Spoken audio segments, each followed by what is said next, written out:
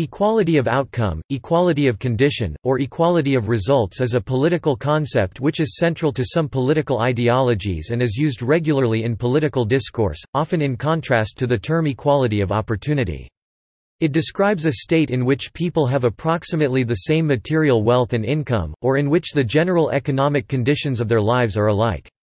Achieving equal results generally entails reducing or eliminating material inequalities between individuals or households in a society and usually involves a transfer of income or wealth from wealthier to poorer individuals, or adopting other measures to promote equality of condition. A related way of defining equality of outcome is to think of it as equality in the central and valuable things in life. One account in the Journal of Political Philosophy suggested that the term meant equalizing where people end up rather than where or how they begin, but described this sense of the term as simplistic, since it failed to identify what was supposed to be made equal.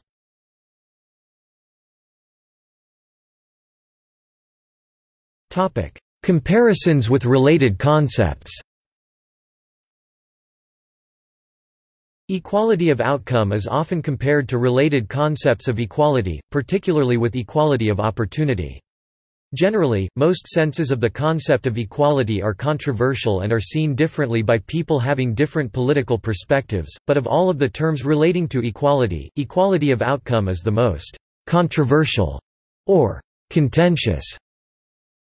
Equality of opportunity this conception generally describes fair competition for important jobs and positions such that contenders have equal chances to win such positions, and applicants are not judged or hampered by unfair or arbitrary discrimination. It entails the elimination of arbitrary discrimination in the process of selection. The term is usually applied in workplace situations, but has been applied in other areas as well such as housing, lending, and voting rights. The essence is that job seekers have an equal chance to compete within the framework of goals and the structure of rules established." According to one view. It is generally seen as a procedural value of fair treatment by the rules. Equality of opportunity provides in a sense that all start the race of life at the same time. Equality of outcome attempts to ensure that everyone finishes at the same time. Equality of autonomy is a relatively new concept, a sort of hybrid notion that has been developed by philosopher Amartya Sen and can be thought of as the ability and means to choose our life course should be spread as equally as possible across society. It is an equal shot at empowerment or a chance to develop up to his or her potential rather than equal goods or equal chances. In a teaching guide, equality of autonomy was explained as Equality in the degree of empowerment people have to make decisions affecting their lives, how much choice and control they have given their circumstances. Sen's approach requires active intervention of institutions like the state into people's lives, but with an aim towards fostering of people's self-creation rather than their living conditions. Sen argued that the ability to convert incomes into opportunities is affected by a multiplicity of individual and social differences that mean some people will need more than others to achieve the same range of capabilities. Equality of process is related to the general notion of fair treatment and can be thought of as dealing with inequalities in treatment through discrimination by other individuals and groups, or by institutions and systems, including not being treated with dignity and respect." According to one definition. Equality of perception is an uncommonly used term meaning that, "...person should be perceived as being of equal worth."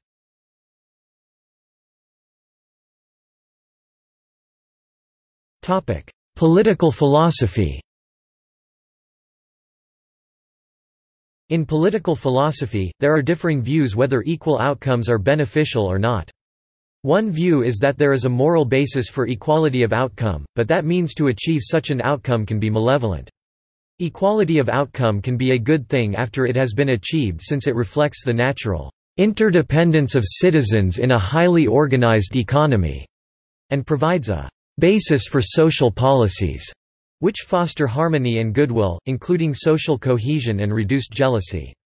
One writer suggested greater socio-economic equality was indispensable if we want to realize our shared common sense values of societal fairness. In his 1987 book The Passion for Equality, analyst Kenneth Cauthen suggested that there were moral underpinnings for having equal outcomes because there is a common good—which people both contribute to and receive benefits from—and therefore should be enjoyed in common. Cauthen argued that this was a fundamental basis for both equality of opportunity as well as equality of outcome. Writing in the journal Foreign Affairs, analyst George Packer argued that, "...inequality undermines democracy." In the United States partially because it hardens society into a class system, imprisoning people in the circumstances of their birth." Packer elaborated that inequality corrodes trust among fellow citizens, and compared it to an odorless gas which pervades every corner. Of the nation, an opposing view is that equality of outcomes is not beneficial overall for society since it dampens motivation necessary for humans to achieve great things, such as new inventions, intellectual discoveries and artistic breakthroughs. According to this view, economic wealth and social status are rewards needed to spur such activity and with these rewards diminished, then achievements which will ultimately benefit everybody will not happen as frequently. If equality of outcomes is seen as beneficial for society and if people have differing levels of material wealth and social prestige in the present, then methods to transform a society towards one with greater equality of outcomes is problematic. A mainstream view is that mechanisms to achieve equal outcomes—to take a society in with unequal socio-economic levels and force it to equal outcomes—are fraught with moral as well as practical problems since they often involve political coercion to compel the transfer. There is also general agreement that outcomes matter. In one report in Britain, unequal outcomes in terms of personal wealth had a strong impact on average life expectancy, such that wealthier people tended to live seven years longer than poorer people and that egalitarian nations tended to have fewer problems with societal issues such as mental illness, violence, teenage pregnancy and other social problems. Authors of the book The Spirit Level contended that, "...more equal societies almost always do better." On other measures and as a result striving for equal outcomes can have overall beneficial effects for everybody. In his A Theory of Justice 1971, philosopher John Rawls developed a second principle of justice that economic and social inequalities can only be justified if they benefit the most disadvantaged members of society. Rawls further claims that all economically and socially privileged positions must be open to all people equally. Rawls argues that the inequality between a doctor's salary and a grocery clerk's is only acceptable if this is the only way to encourage the training of sufficient numbers of doctors, preventing an unacceptable decline in the availability of medical care which would therefore disadvantage everyone. Writing in The New York Times, analyst Paul Krugman agreed with Rawls' position in which both equality of opportunity and equality of outcome were linked and suggested that we should try to create the society each of us would want if we didn't know in advance who we'd be." Krugman favored a society in which hard-working and talented people can get rewarded for their efforts, but in which there was a «social safety net» created by taxes to help the less fortunate.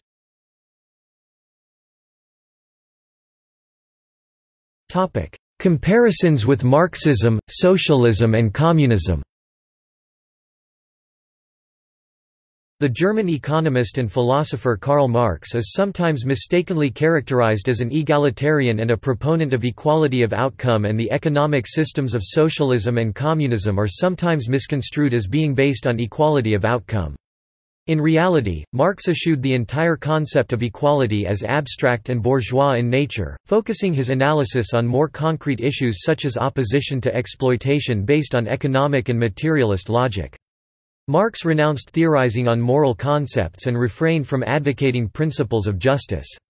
Marx's views on equality were informed by his analysis of the development of the productive forces in society. Socialism is based on a principle of distribution whereby individuals receive compensation proportional to the amount of energy and labor they contribute to production, to each according to his contribution which by definition precludes equal outcomes in income distribution. In Marxist theory, communism is based on a principle whereby access to goods and services is based on free and open access, often referred to as distribution based on one's needs in the literature. Marx stressed free access to the articles of consumption. The equality in a communist society is thus not about total equality or equality of outcome, but about equal and free access to the articles of consumption. Marx argued that free access to consumption would enable individuals to overcome alienation. Despite this, socialists, communists and Marxists believe that by eliminating exploitation their respective principle of compensation will lead to emancipation and greater equality than that found in capitalism because there would be no inequality arising from private ownership of productive property. Perhaps the most insistent proponent of equality of outcome in modern political discourse was Fabian socialist, political thinker and dramatist Bernard Shaw (1856–1950). As opposed to Marxists, Shaw would have socialists place more emphasis on distribution rather than production. He developed his ideas on economic equality and its implications for social, democratic, legal, military and gender concerns in lectures and articles in the ten years following the writing of his 1905 play on poverty and power, Major Barbara, at the same time as his Fabian colleague Beatrice Webb as primary author of the 1909 Minority Report on the Poor Law, along with her husband Sidney Webb, was proposing to abolish poverty in industrial societies by introducing what we now call the welfare state. In the 1907 preface to Major Barbara, Shaw was probably the first to argue for what he called, "...universal pensions for life", now known as universal incomes. Following major lectures on equality in 1910 and 1913, he gave his fullest exposition of economic equality in a series of six highly publicized Fabian public lectures at the end of 1914, on redistribution of income—a phrase, as he put it at the time, that he wanted to get into circulation. Although largely unacknowledged, most of the terms of the equality debate since such as, for example, John Rawls and many recent writers on inequality are as outlined in some detail in Shaw's 1914 series of lectures, where he argued for a gradual incremental process towards equal incomes, mostly by leveling up from the bottom though union activity and labor laws, minimum and basic incomes as well as by using such mechanisms as income and wealth inheritance taxes to prevent incomes rising at the top. In the end, the goal would have been achieved not at absolute equality, but when any remaining income differences would not yield any significant social difference. Like the later Fabian, W. H. Tawney, who further developed the equality debate, Shaw considered equality of opportunity as virtually meaningless without economic equality. Shaw later expanded his pre-World War I work on equality into his 1928 political magnum opus, The Intelligent Woman's Guide to Socialism and Capitalism.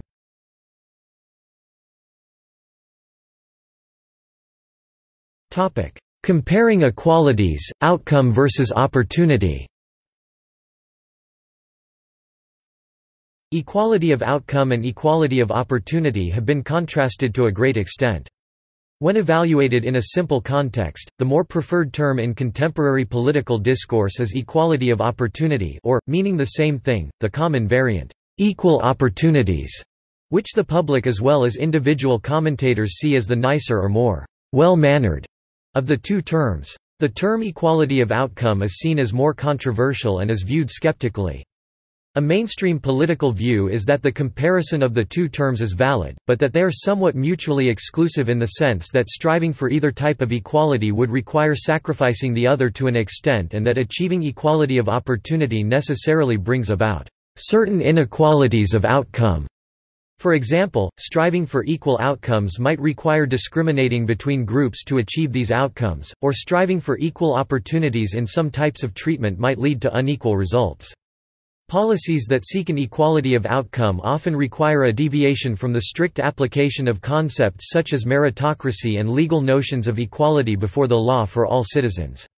Equality-seeking policies may also have a redistributive focus.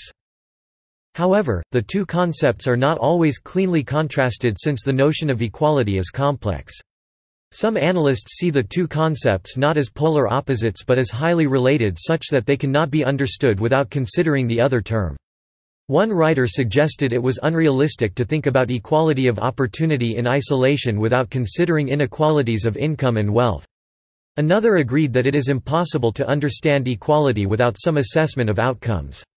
A third writer suggested that trying to pretend that the two concepts were fundamentally different was an error along the lines of a conceit. In contemporary political discourse, of the two concepts, equality of outcome has sometimes been criticized as the politics of envy and is often seen as more controversial than equality of opportunity. One wrote that Equality of opportunity is then set up as the mild-mannered alternative to the craziness of outcome equality. One theorist suggested that an overemphasis on either type of equality can come into conflict with individual freedom and merit. Critics of equality of opportunity note that while it is relatively easier to deal with unfairness for people with different races or genders, it is much harder to deal with social class since one can never entirely extract people from their ancestry and upbringing. As a result, critics contend that efforts to bring fairness by equal opportunity are stymied by the difficulty of people having differing starting points at the beginning of the socio-economic competition.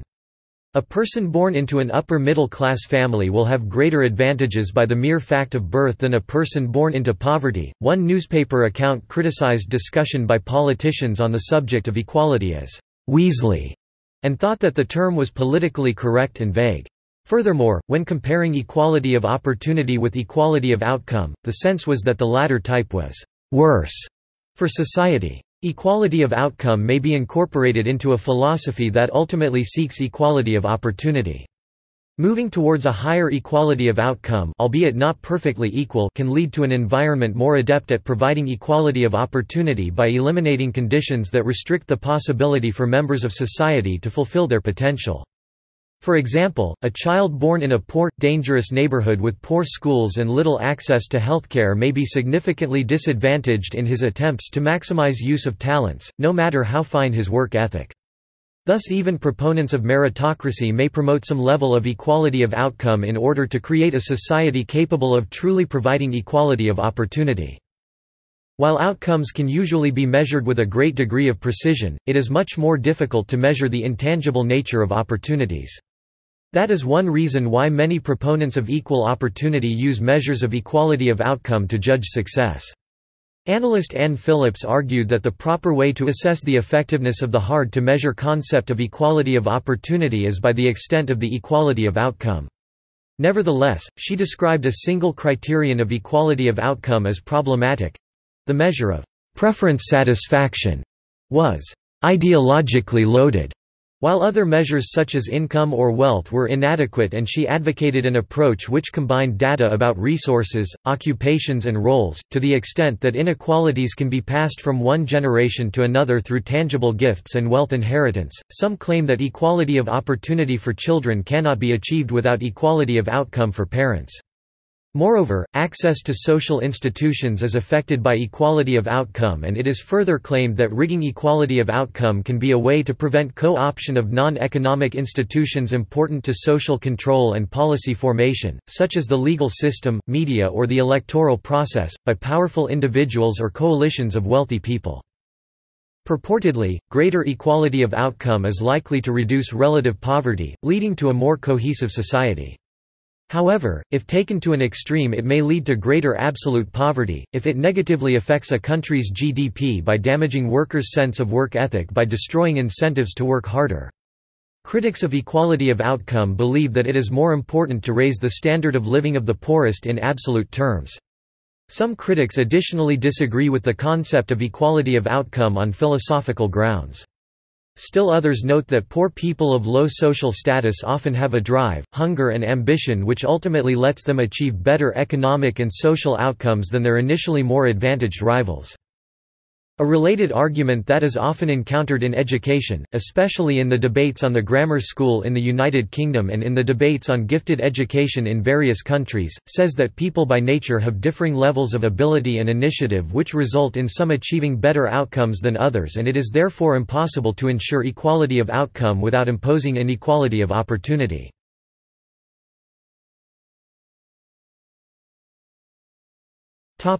The concept in political argument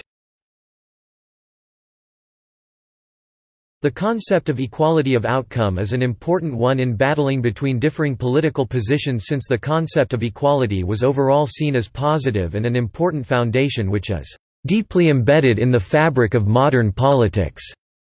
There is much political jousting over what exactly equality means. It is not a new phenomenon, battling between so-called haves and have-nots has happened throughout human civilization and was a focus of philosophers such as Aristotle in his treatise Politics. In The Guardian, analyst Julian Glover wrote that equality challenged both left-leaning and right-leaning positions and suggested that the task of left-leaning advocates is to "...understand the impossibility and undesirability of equality", while the task for right-leaning advocates was to "...realize that a divided and hierarchical society cannot, in the best sense of that word, be fair." Conservatives, classical liberals believe in equality of opportunity, but not outcome. In their view, life is not fair, but that is how it is and they criticize attempts to try to fight poverty by redistributive methods as ineffective since more serious cultural and behavioral problems lock poor people into poverty. Sometimes right-leaning positions have been criticized by left-leaning people for oversimplifying what is meant by the term equality of outcome and for construing outcomes strictly to mean precisely equal amounts for everybody. In The Guardian, commentator Ed Rooksby criticized the right's tendency to oversimplify and suggested that serious left-leaning advocates would not construe equality to mean, "...absolute equality of everything." Rooksby wrote that Marx favored the position described in the phrase, "...from each according to his ability, to each according to his need." and argued that this did not imply strict equality of things, but that it meant that people required different things in different proportions in order to flourish. Libertarians and advocates of economic liberalism such as Friedrich Hayek and Milton Friedman tend to see equality of outcome negatively and argue that any effort to cause equal outcomes would necessarily and unfortunately involve coercion by government. Friedman wrote that striving for equality of outcome leaves most people, "...without equality and without opportunity." Analyst Glenn Oliver suggested that left-leaning people believed in "...equality of opportunity and of outcome." One left-leaning position is that it is simplistic to define equality in strict outcomes since questions such as what is being equalized as well as huge differences in preferences and tastes and needs is considerable, therefore they ask, exactly what is being equalized? In the 1960s in the United States, in examining the plight of African Americans locked in poverty mainstream leftist President Lyndon B. Johnson argued for ending policies which promoted segregation and discrimination as well as steps to end economic injustice by turning equality of opportunity into equality of outcome, that is with programs to transfer wealth in varying amounts. Fairness is emphasized. One writer expounding a centrist position wrote, People would neither be left to fend for themselves nor guaranteed equality of outcome, they would be given the tools they needed to achieve the American dream if they worked hard." There has been cynicism expressed in the media that neither side—including mainstream political positions, wants to do anything substantive, but that the nebulous term fairness is used to cloak the inactivity because it is difficult to measure what in fact, fairness means. Julian Glover wrote that fairness compels no action, and compared it to an atmospheric ideal, an invisible gas, a miasma, and to use an expression by Winston Churchill, a happy thought. Social Democrats champion greater equality of outcome and opportunities within capitalism, usually promoted through redistributive social policies like progressive taxation and the provision of universal public services. Socialists often believe in both inequality of opportunity and equality of outcome, according to Glenn Oliver. They often see greater equality of outcome as a positive long-term goal to be achieved, so that individuals have equal access to the means of production and consumption. Bernard Shaw was one of the few socialist theorists to advocate complete economic equality of outcome right at the beginning of World War I. The vast majority of socialists view an ideal economy as one where remuneration is at least somewhat proportional to the degree of effort and personal sacrifice expended by individuals in the productive process. This latter concept was expressed by Karl Marx's famous maxim, "...to each according to his contribution."